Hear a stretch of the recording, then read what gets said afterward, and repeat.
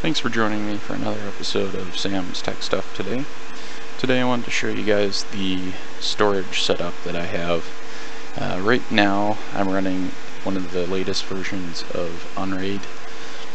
I have uh, dual parity enabled and it's mostly consisting of a couple of 3 terabyte hard drives that I picked up from Newegg over time.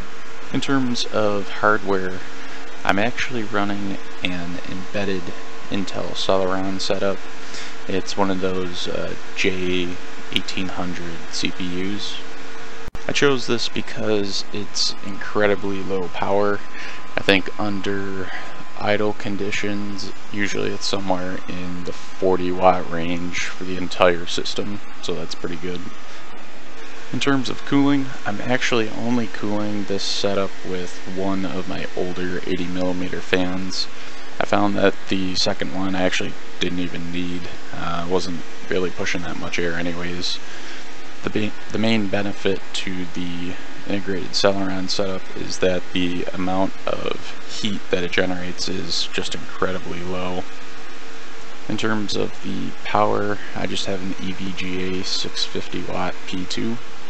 Power supply is a little bit overkill, but since this server is going to be on 24-7, I wanted to make sure that I got something that was efficient. Uh, this is a platinum rated 80 plus power supply.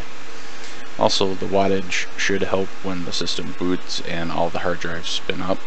When they first spin up from being off, there's kind of a surge in the amperage required, so uh, definitely want to have a little bit of extra headroom there. In terms of storage, I'm using an IBM M1015 RAID card. These are pretty much perfect for unraid setups.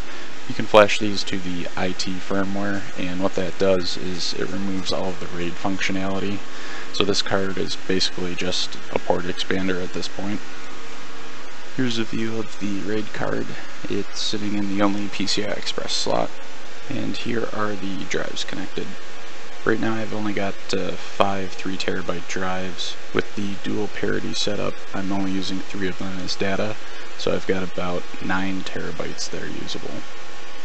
Now if you're wondering why the server is actually at the bottom of my rack, it's because this particular Norco, I think the, I want to say the RPC 460 actually is too wide.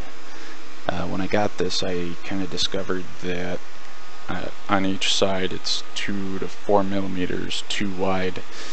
So I tried a bunch of different rail kits um, the Norco ones, iStar, all of the other popular brands but I actually wasn't able to get any of them to fit.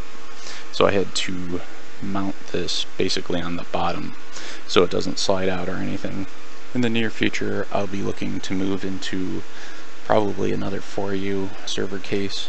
It'll be one of the Rosewill RSVL 4500s, I think, possibly the 4000s, and I'll probably be mounting it with some of the iStar rails. If you guys have any questions, definitely feel free to let me know in the comment section down below. If you like this video, definitely go ahead and give it a like. If you're interested in seeing more tech videos and crypto mining guides, definitely get subscribed.